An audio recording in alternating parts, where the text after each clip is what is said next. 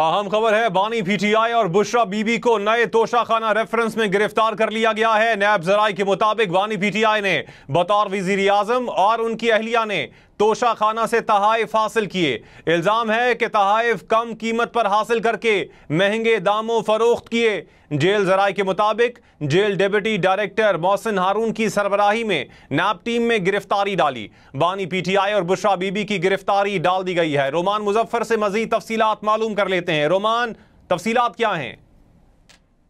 دیکھیے، کامران، اب سے کچھ تین گھنٹے پہلے نیب کی ٹیم جو ہے، اڈیالہ جیل میں پانی چیئرمین پی ٹی آئی اور جو بشرا بی بی ان کی اہلیاں ہیں ایک ریفرنس میں ان سے ان کی گرفتاری ڈالنے کے لیے یہاں پر پہنچے تھے۔ ہمارے ذرائع کا یہ بتانا تھا، لیکن ابھی کی یہ اہم ڈیولپمنٹ ہے کہ پانی چیئرمین پی ٹی آئی اور جو ان کی اہلیہ بشرا بی بی ہیں، ان کی باقاعدہ گرفتاری ڈال دی گئی ہے۔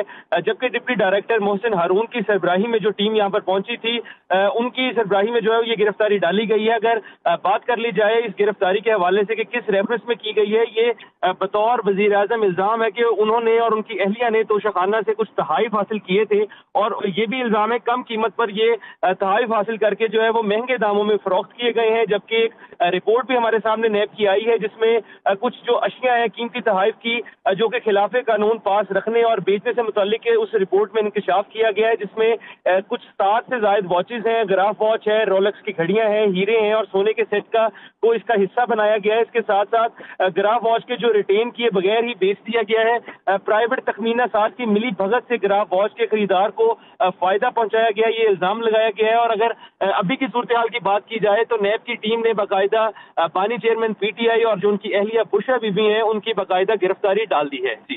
ٹھیک، رومان، آپ کا شکریہ۔